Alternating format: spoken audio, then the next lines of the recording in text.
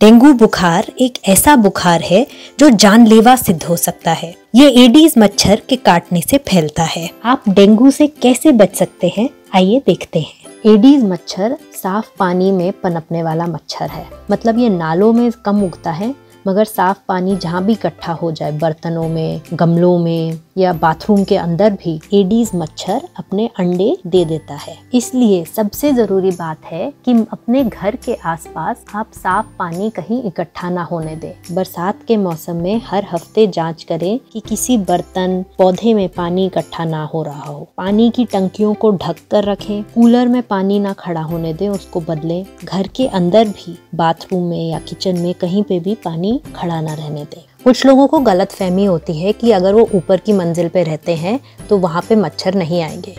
Aedes मच्छर कुछ मंजिल ऊपर तक उड़ के आ सकता है। साथ में ध्यान रहे कि आजकल बिल्डिंगों में लिफ्ट होती हैं तो लिफ्ट के द्वारा मच्छर बहुत ऊँची मंजिलों तक भी पहुँच सकते हैं। अपनी खिड़कियाँ और दरवाज़ों पर मच्छर जाली लगाएँ ताकि मच्छर घर के अंदर घुस ही ना पाए। घर के अंदर कोई भी कीटानाशक स्प्रे या कोयल या मशीन लगा कर रखें।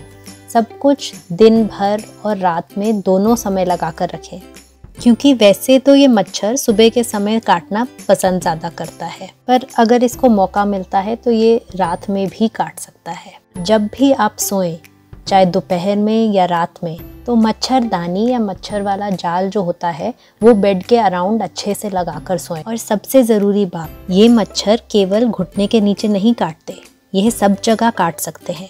बारिश के मौसम में या ऐसे मौसम में जब मच्छर बहुत पनप रहे हैं तो आप पूरी बाह के कपड़े पहने, जो हाथ और पाँव पूरा अच्छे से ढके। साथ ही अपनी त्वचा पर, जो ढकी नहीं हुई है उस पर मच्छर से बचाने वाली दवा या स्प्रे लगाएँ। एड़ियों के आसपास, घुटनों के पीछे, कोनियों के आसपास, गर्दन पर और कान के पीछे एडीज मच्छर काफ़ी काटता है। जगहों पर हम मच्छर को दूर रखने वाली दवाई या क्रीम या स्प्रे को लगाना भूल जाते हैं। अब से आप ध्यान रखें और ना भूलें। डेंगू बुखार, डेंगू में खतरे के लक्षण और डेंगू में आपको क्या करना चाहिए और क्या नहीं, ये सब आप हमारी डेंगू की पहली वीडियो देखकर जान सकते हैं।